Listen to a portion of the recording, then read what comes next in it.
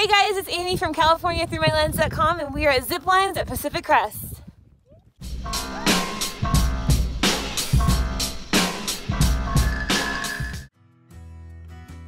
Located 70 miles from Los Angeles in the mountain town of Wrightwood, zip lines at Pacific Crest is a great way to have a half day exploring the mountains. Amie and I were invited to check it out, so we brought along two friends and set out on the three hour canopy tour. You gotta hold the ponytail up while you're. Uh... Making it easier, right? Yeah. After getting set up with our helmets, harnesses, and gloves, we loaded into the van and took a bumpy ride up into the mountains to start the tour.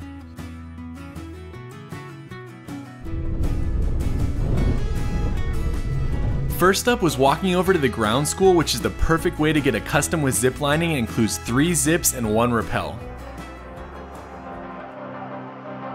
After making sure the GoPro was recording, it was time to start zipping.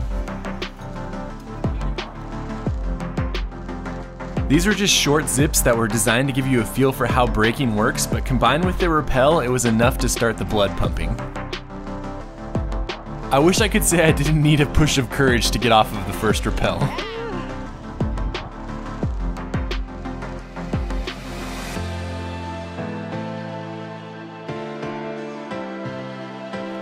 Next up was a short hike and then a climb into the trees on the sky stairs.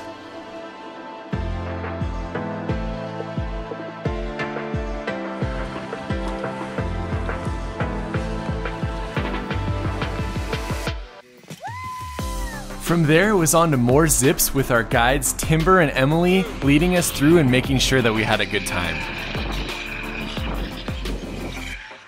Some of the zips in this section are up to 500 feet long, which gives you a chance to look around and enjoy the beautiful scenery.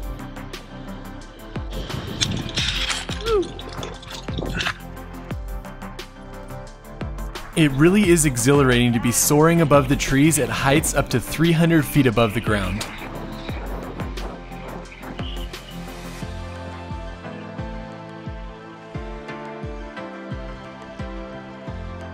After the second rappel, there were two sky bridges, and this ended up being the scariest part for many members of our group.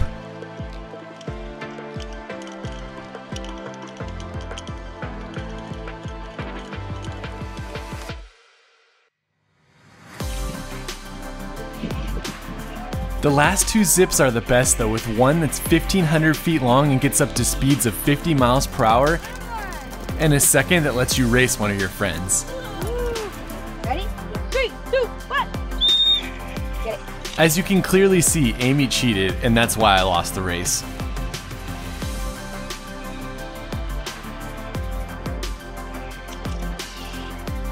The three hours really did fly by, and we had a great time ziplining through the mountains. Check it out if you get a chance.